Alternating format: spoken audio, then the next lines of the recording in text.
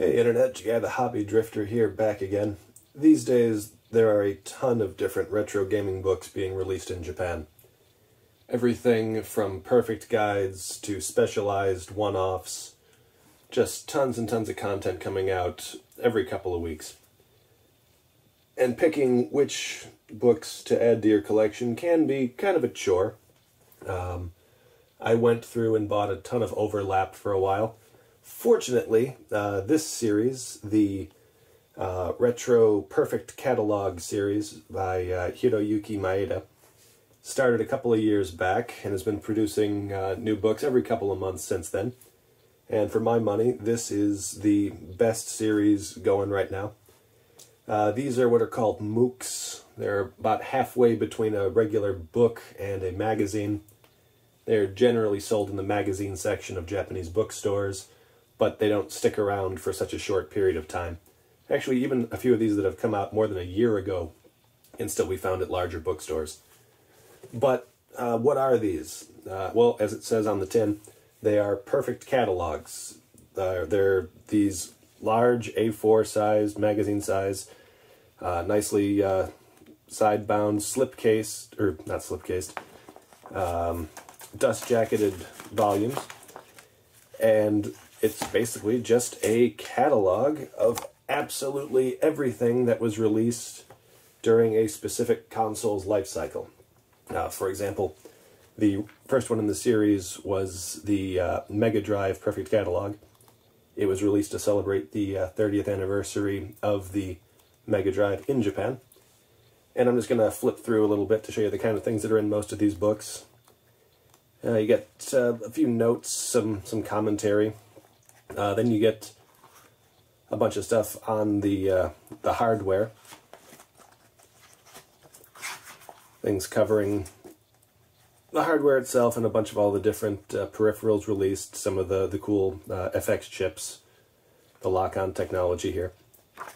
And it goes through everything, all the, the first-party controllers, the add-on stuff, uh, the modem here, you got the, this, the Sega CD, the Mega CD, and then you even get some of the rarer stuff, like uh, the Wonder Mega, uh, the other versions of the Wonder Mega, uh, the, the Terra Drive, Mega Jet, the thing that let you play Mega Drive games on the plane, uh, the Laser Active, and even the uh, ultra hard to find CDS GM1.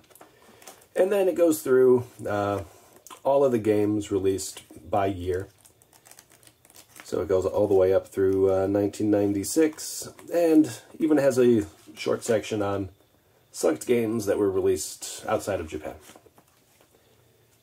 That's pretty much par for the course for this series. Uh, the most recent one to come out is the uh, Super Famicom uh, Perfect Catalog. It is huge. Uh, covers all 1,200 something games released for the console, uh, including the download only um, kiosk stuff and uh, the uh, uh, Satellaview things. Uh, not all of these are based solely on, on one platform. You got this excellent volume called uh, Early Sega, which covers uh, the uh, SG-1000, SC-3000, SG-1002, the Sega Mark III, the Master System, and the Game Gear. And this is just a, a treasure trove of, of cool Sega stuff. Um, not the easiest thing to collect, uh, especially here, but it goes into, again, pretty much everything you could possibly want. It's got nice, nice visuals on all the hardware. Uh, software mostly includes the um, box art, as well as pictures of the, the different consoles and the cartridges uh, themselves.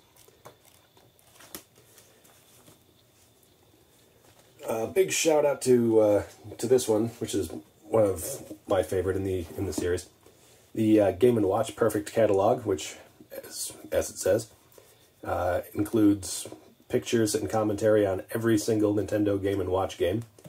But what makes this one so interesting is that the uh, the pictures are actual size. So all of these things include not only the uh, full-size pictures, but also scans of the, the playing manual, uh, the closed cover side, and the uh, original box art for everything released for the uh, Nintendo uh, Game & Watch series. Uh, each one of these books uh, costs about 25 US dollars. They're between uh, 2,000 and 2,500 yen, uh, plus tax. You can get them on Amazon Japan. I will include a link in the uh, description. This is just, uh, again, for my money, this is the, the best series of, of books on Japanese retro games that has been released to date. I'm very surprised that there has not been a Famicom uh, volume released yet, but I'm assuming it's just a matter of time.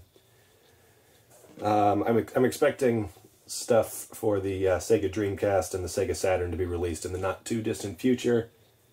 Uh, as you can see here, uh, we've also got the uh, Nintendo 64 Perfect Catalog, PC Engine, Game Boy, uh, and Game Boy Advance. So they are going pretty deep into the mainstream collector stuff along with stuff like uh, early Sega and the uh, Game & Watch. So let me know what you think. If you're picking these up, let me know if uh, you're enjoying them as much as I am. If you know of a different series uh, released in Japan or elsewhere that you think maybe uh, I should be adding to my, my bookshelf, please let me know down in the comments.